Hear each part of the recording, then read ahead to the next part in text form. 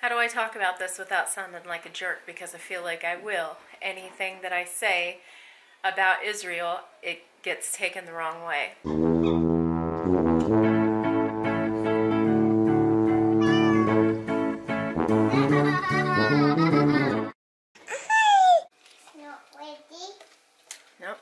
Yet. So I got some green beans and some sweet potato fries, and I'm really trying to decide if this is a grasshopper or not. I think it's part of a green bean, so we're gonna go ahead and cook this. Nom nom nom nom. Ooh, it's vegan. Green beans. Yeah, huh? Mom. Do you want sweet potato fries? Two, five. Yeah, you good with that? Two, oh, nice. Not ready. Not ready. How do I talk about this without sounding like a jerk? Because I feel like I will. Anything that I say about Israel, it gets taken the wrong way. I don't want to live here anymore. And it's not because of just what happened last night, but that doesn't make me want to stay. Really. Last night we were awoken suddenly by a air raid siren. Now that's not the first time. And it's not the first time that we've ever actually heard a bomb or felt a bomb, rocket land. But last night was pretty terrifying because we don't have a bomb shelter. So I can give you a very accurate representation of what happened last night. Do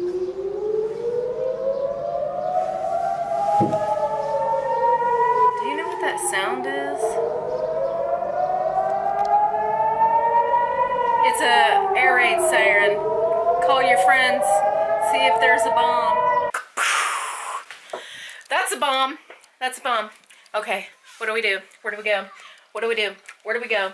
Oh, we don't have no bomb shelter. Andrea, you just have to sit here and wait. You just have to sit here and wait. Wait for something else to happen. Here, here, I'm gonna go look on the news, see what's happening Code Red. Well, my kids are in there, so what do I do with them? They're asleep, they're not getting up. Um, bomb shelter is clear down this street because we don't have one in our house because our house is old. Um, yeah, so basically, here I am standing in the doorway trying not to get bombed, trying not to get bombed, worrying about how many bombs there are, wondering why did that bomb land if we have two iron domes in Beersheba? Why did it land? Getting really, really irritated and scared and just mad. Just mad because this is not my war. This is not my land. What are what are we fighting over here?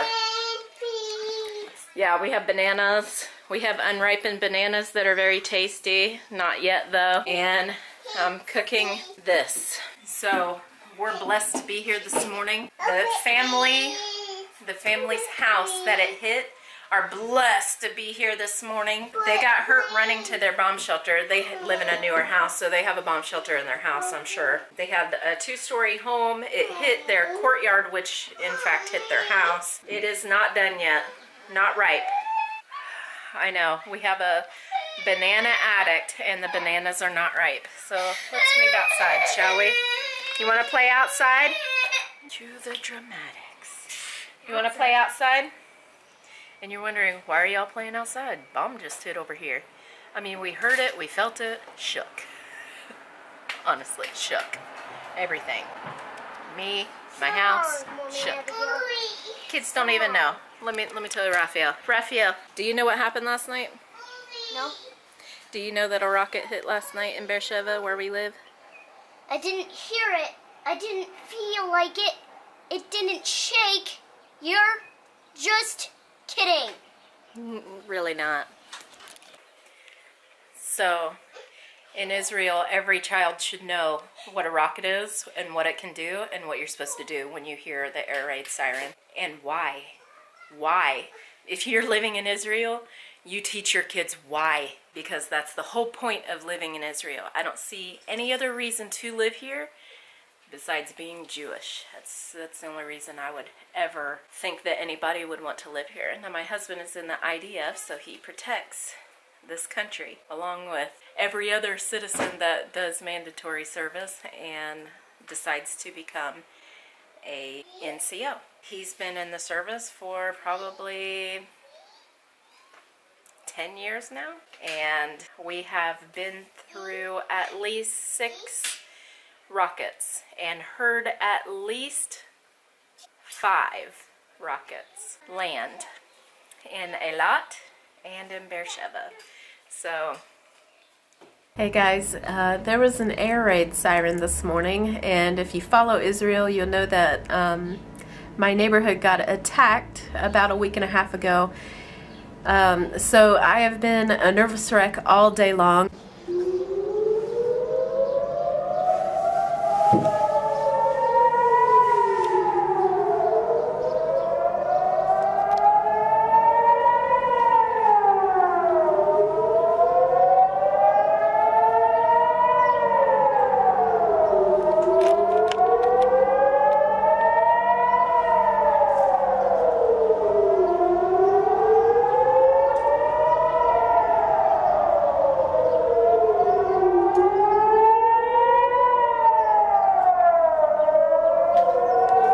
This is why Hadar is staying the weekend at base. Uh, I'm not scared. I'm just. I don't know what that is. It's a air raid siren for bombing. And when it's bombs coming. it's yeah, it's really bad. It hasn't gone off for a while. Anyway, I went through my clothes. How can I think about that when there's a bomb? Anyway, I went through my clothes and that's my new clothes now. Alright, no bomb. Go outside. Oh no, another one. Ooh! That was a bomb, holy crap! Oh my god. Dude, that was two. The the only other reason that I would see to live in Israel is because you're trying to escape some other place that is worse than this. So usually, because I'm a daily vlogger, right, I would be editing. I would probably have been done editing about 30 minutes ago. However, um, I I couldn't I couldn't focus on editing. So I just wanted to make like a, a shorter video, less editing, just to tell you guys that we are okay. I sent a message on Facebook and said that, you know, we're okay basically because I was on Facebook. But yeah, I was shook last night. My nerves are so bad. And then we woke up this morning, we made coffee. The neighbors are constructing their bomb shelter uh, outside. Um, my husband went to work today. He, you know, he's he works to protect this land, and the more that I think about it, the angrier I get about it because I, it's land, you know, and it's, it's a, it's just so, again, anything that I say about this is going to be taken the wrong way because anything that's said against Israel or for Israel, like you don't know the amount of stupid comments that I get every single day. People that think that I have something to do with the Israeli government and their decisions or the the Hamas and their decisions and I have nothing to do with either. I am just living my life with my kids and my husband. And my husband's trying to provide a life for us right now in Israel where we can be happy and be safe to live here. Israel is the safe place in the world for Jews to live. And Jewish people believe that this is a safer place to be than out in the world. And we're getting bombed, and their technology is getting better. And I just know that since they hit something last night and they destroyed a home with kids in it, I just know that the, the rockets, it's going to escalate. I know. I know that's coming. We're going to have to live here for a couple more months at least while all of this is going on. They just hit us two months ago with two rockets in Beersheba in a community that they're building right now. It was under construction, so it didn't hit anybody, luckily. They can just point the rocket and it goes. They don't know where it's going to land, and neither do we until it lands. But it's it's pretty terrifying, honestly. But if you're Israeli and you were born here and you've lived this life since you were a little kid, you know. And you just life just goes on and you don't you don't stress about it. And my kids are outside playing right now. And it's generally a safe place to live except for that, except for terror. My mother-in-law called me this morning to ask how we were. And, you know, I told her all about it. And she said, yeah, that's quite an experience. I said, yeah, but it happened two months ago, too. She's like, oh, I didn't know. Said, yeah, in August it happened. There were two in August. You know, this is October and they're they're getting better. They're getting more powerful. They're getting to be longer range and heavier. They cause more destruction. It's not just a hole. You know, it's it's a blast. It's it, it's big. And her daughter lives very close to Gaza Strip. We've been there before for Passover last year. Beautiful place to live. Beautiful. But surrounded by terror. Their kids aren't going to school today. They shut the school down. My kids are making some noise out back, so I'm going to go see what they're doing. Um, but they are building a bomb shelter right next door we wouldn't have time to run down to the synagogue that's down the street, wake the kids up, run down to the synagogue. As soon as the air raid siren was, was over, the bomb hit, and it hit hard. And it was like there was a secondary concussion hit, you know what I mean? It was like boom, boom. Like one was hitting and one was destroying. And we heard it and we felt it, and it did shake the house and I I have no idea where it was, but it's probably some area that we've been to because we live in Beersheba. We go all over Beersheba. We just have to make life as normal as possible until we move to America. But again, this is just one part of Israel, and my husband works in a job that is very dangerous and it, on one side it, it is worth it because he's Jewish and Israel is his home country and he wants to protect it. But on the other side is we are selfish because we do have a family and he is a father and a husband and he he does have to take care of all of us, you know? So, yeah. Which one is more important? In the end, it's going to be our family.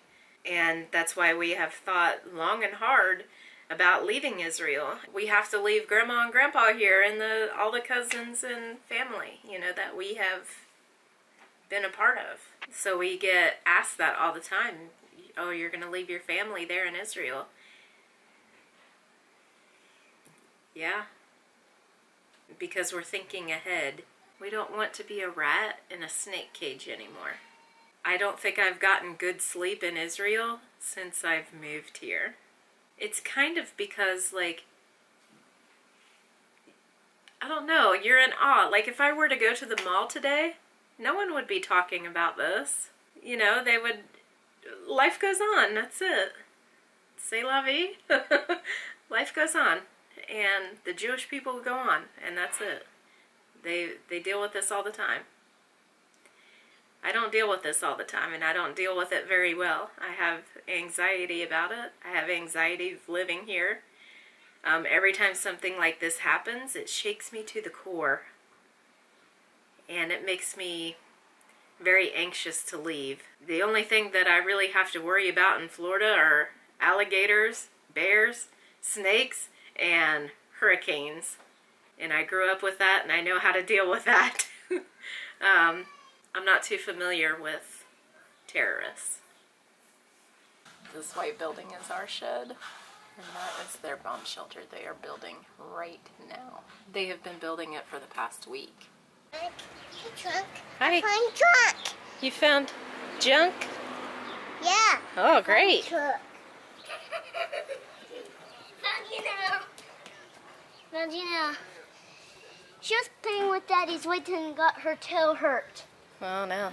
I just went there quickly. our building right there. Yep, that's what I was talking about one day. It's nice, huh? Yep. Yeah. Come and check out my hiding places to hide the ball and tricks on my bike later. What do you think about what happened last night? I think about nothing. I just fell asleep before the rocket crashed. Yeah. What crashing? Did, it, crash? in the backyard? No, it didn't. No. It crashed did it into crash? somebody else's house. Oh. Yeah, ouch. Look, I don't see anybody's house that's cracked. I don't see anybody.